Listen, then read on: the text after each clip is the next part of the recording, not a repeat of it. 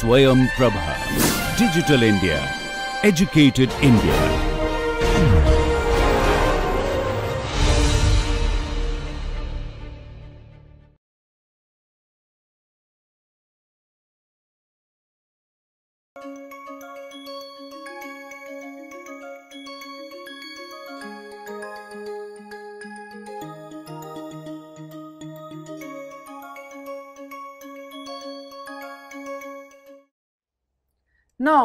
Very important question, our third learning objective, can organizational culture be managed?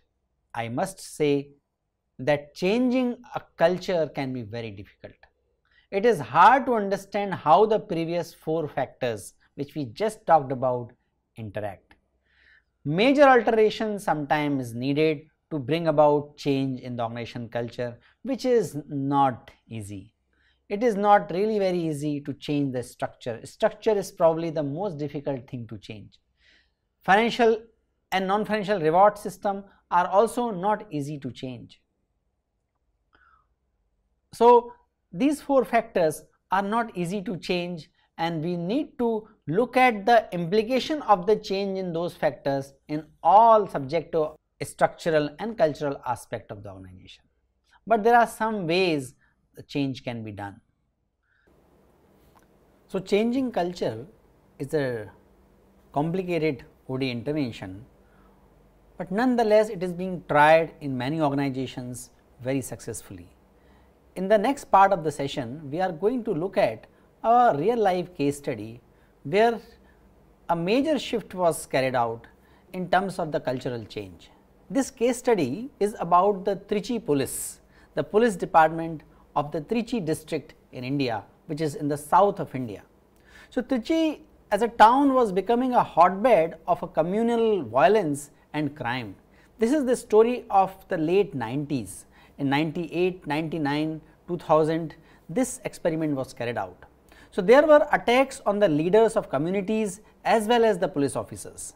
It was and still has a unique mix of communities of Christian, Muslims and Hindus in 99 after the Coimbatore blast and Coimbatore is another town in south of India, uh, Trichy was also tensed and prime minister's visit was due for the party meeting.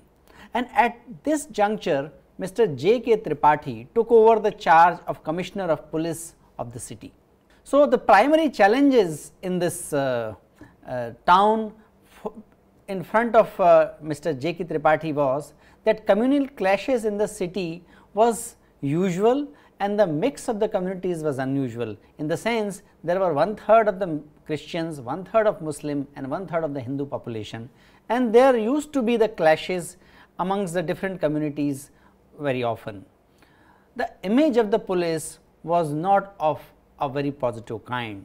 In the police department itself there was a belief that there cannot be any better way of doing their job as they were doing at that time.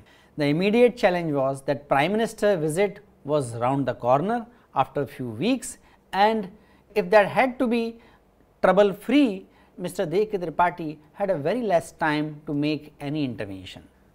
This is another challenge, the challenge of the lack of manpower.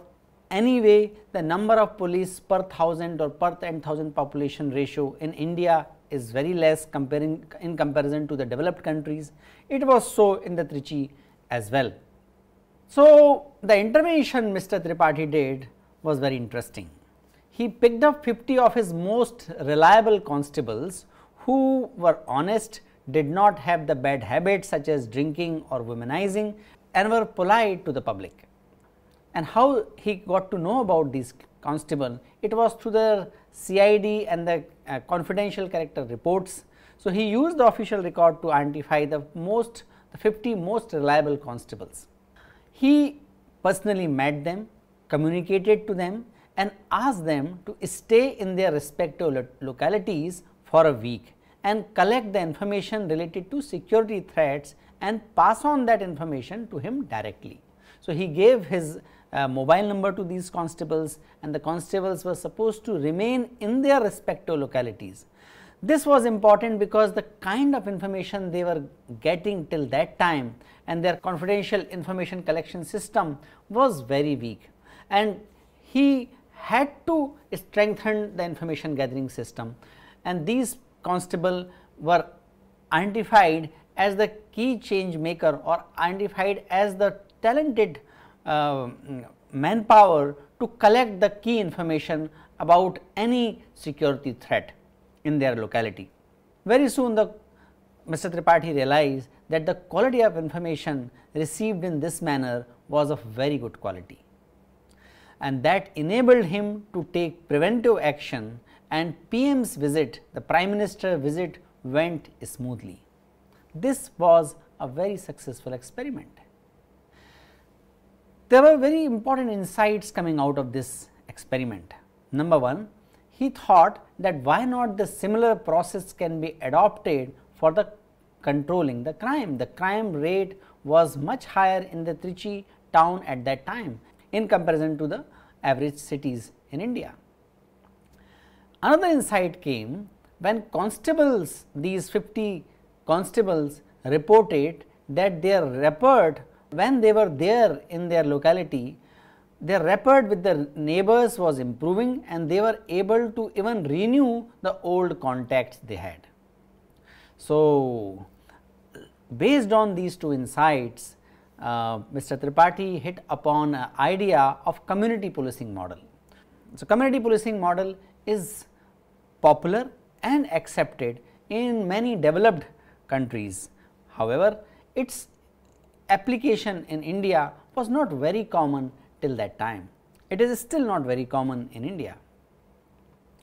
If we look at what were the forces which were supporting this change and what were the forces which were uh, opposing the change of implementing the uh, community policing model in Trichy, we get a figure like this. So, the opposing factors were the middle level police officers, those who were in between assistant police commissioner and constables.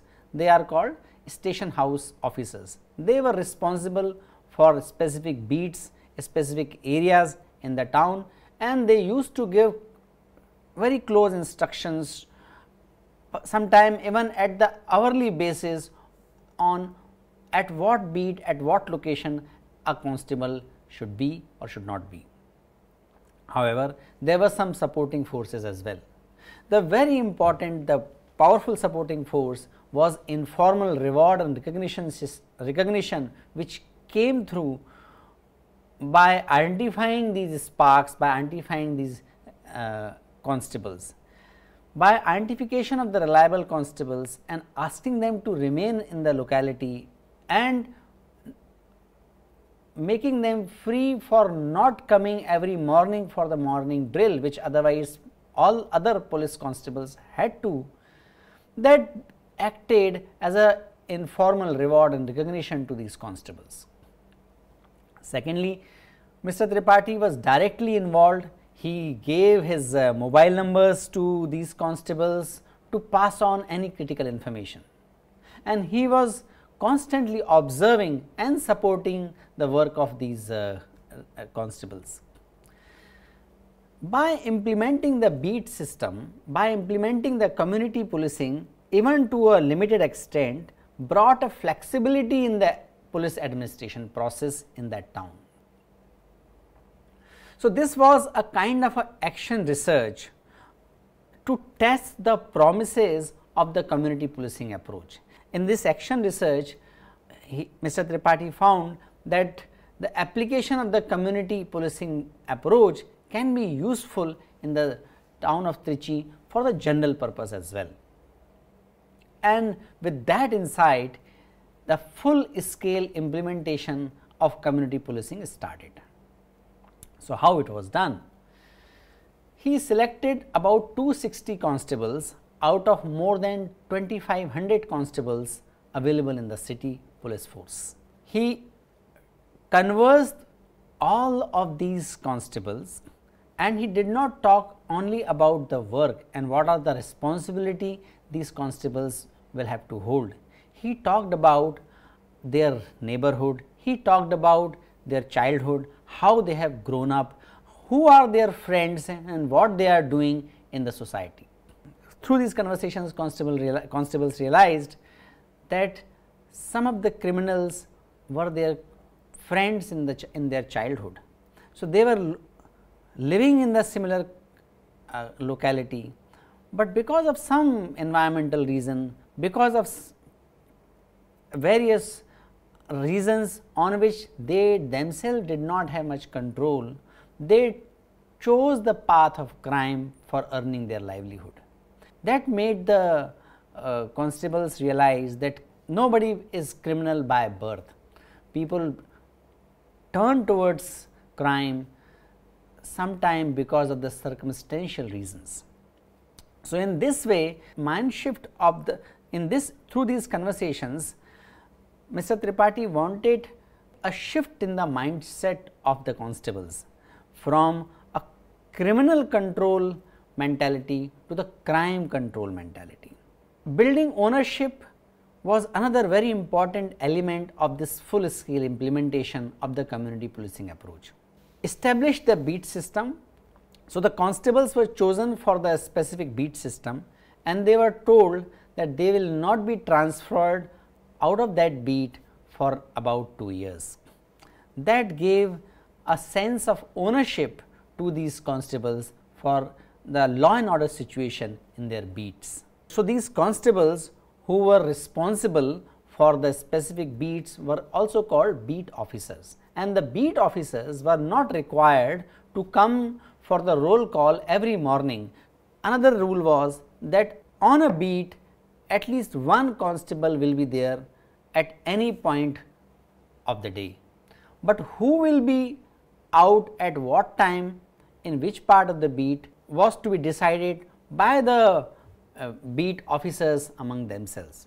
So, the whole town was divided into the 60 beats and each beat had 4 beat officers and they had the autonomy to choose who will be out in the beat at what time during the day. Beat officers were equipped with walkie talkie at that time only the senior police officers used to uh, have this facility of walkie talkie, but uh, beat officers were also provided this facility. So, a new system was implemented. In this new system as I mentioned city was divided into 60 beats and 4 beat officers per beat were assigned. Now, the role of station house officer who was the senior to the constables and the sub inspectors, they were supposed to meet the officers, beat officers twice a day. And sub inspector were supposed to meet the beat officers in the morning and evening and exchange the information. Assistant police commissioners had to meet the beat officers of 8 beats. So, 30 beats were under the jurisdiction of the uh, assistant police commissioners, uh, 8 beats were under the jurisdiction of the SHOs and 4 to 5 beats were under the uh, monitoring and control of the SI or the sub, sub inspectors. The superintendent of police or the police commissioners Mr. Tripathi's contact number was fleshed out in the whole city so, and the information was also given about that in the uh, news through the newspapers and the local cable TV operators.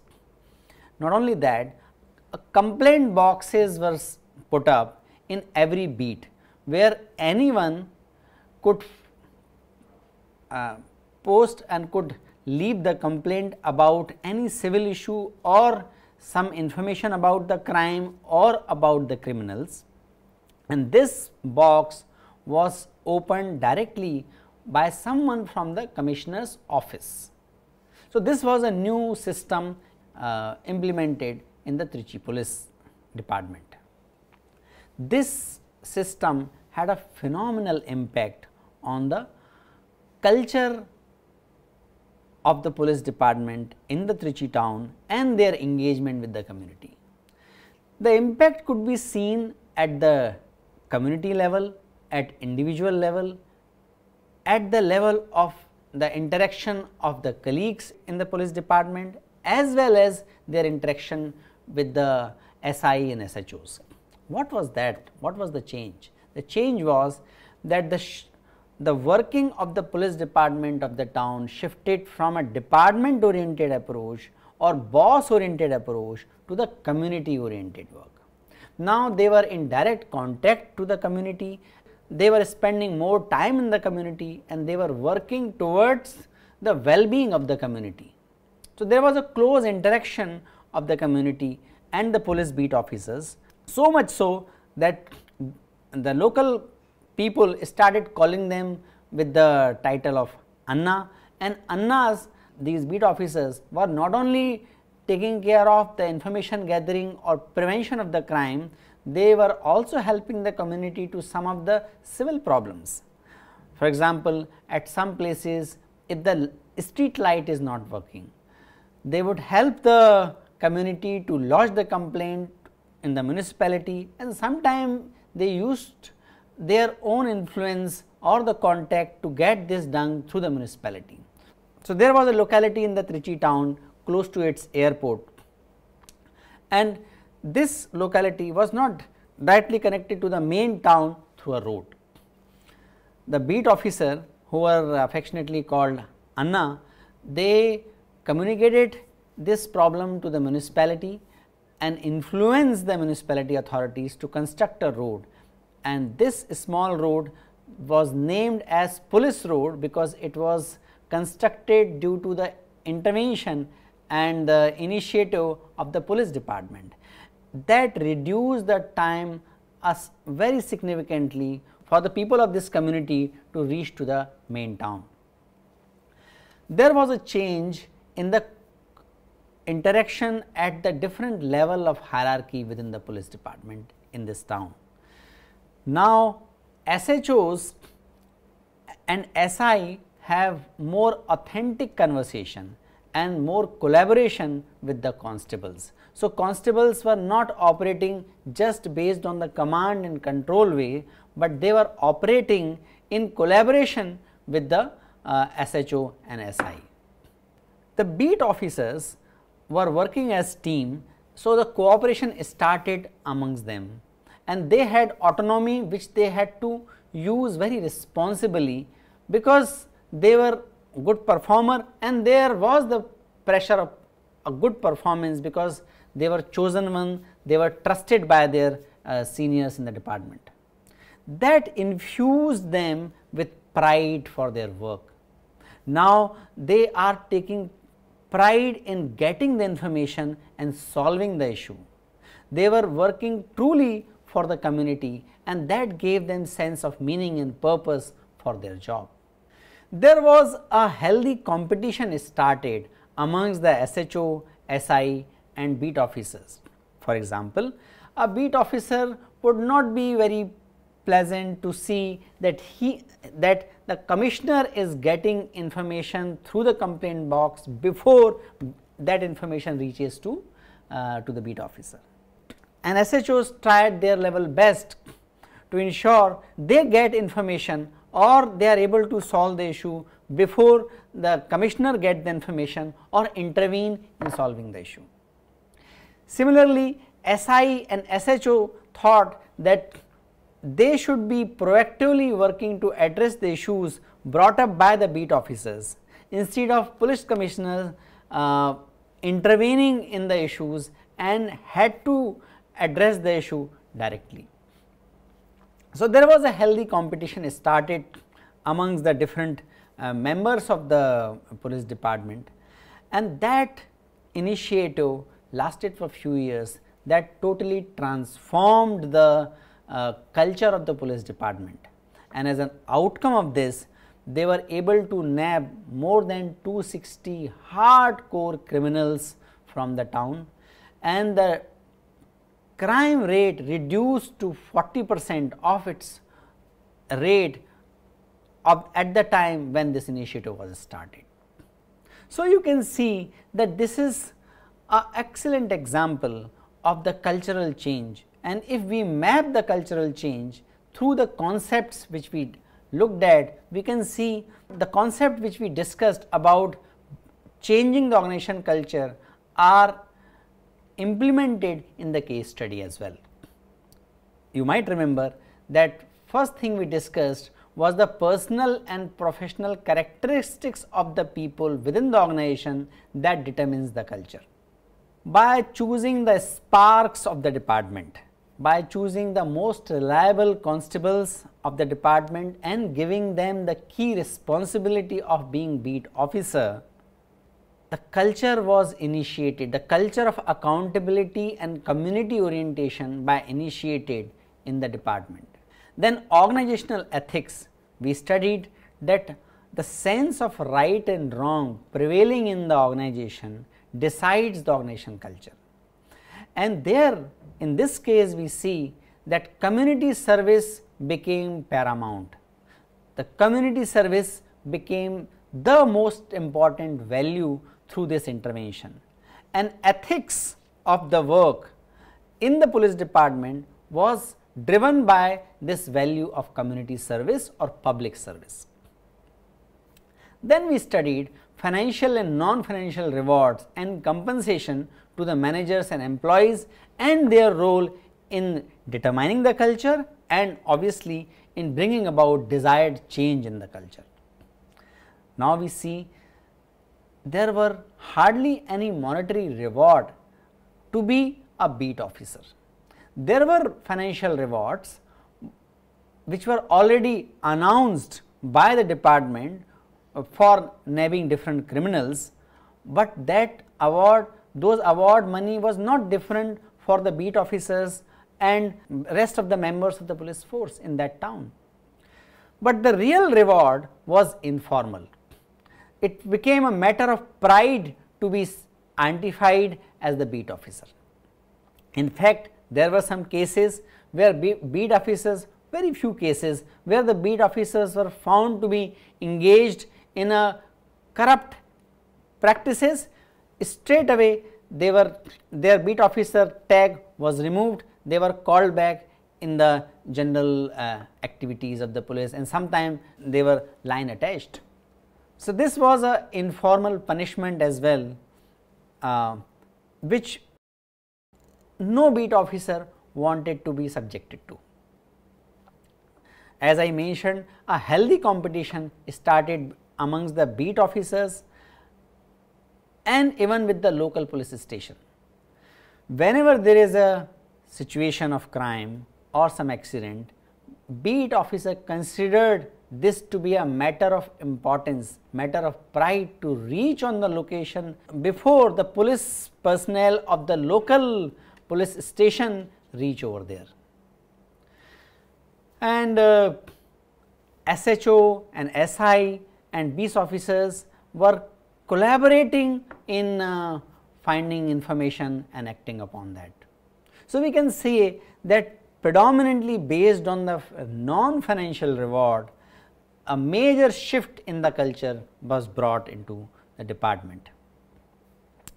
Last point we discussed was the structure of organization change and how it helps in bringing about change in the culture. We see there was a minor structural change in the department of police in this in the town of Trichy. Only 60 out of 2500 constables were picked up and they were chosen at the beat as a beat officer. Their role was majorly redefined. The role of other officers and other constable remained same. But even this specific change in the role and the reporting system of these 60, 70 sparks of the beat officers, there was a major shift in the culture. Little bit of flexibility in this role and more accountability and autonomy to these people, these, these cannot be termed as major structural change, but even with the minor structure change, a major shift in the culture was achieved. So, if we look at what are the key insights of the Trichy police case about the cultural change, we see in this case that leadership is the most important source of culture and cultural transformation. We also see that structure, process and culture need to be handled together for any transformation or for any change. We also looked at in this case that dialogue is essential component of the change in culture. You see a extensive dialogue between the leader Mr. Tripathi and the constable who were his change agents in his mission of establishing community policing uh, model. There was extensive dialogue between the beat officers and the local community. There was also enhanced dialogue and collaboration amongst the different hierarchical levels of the organization. We also see that communicating strongly through punishment about what is non-negotiable is very important to sustain the cultural change.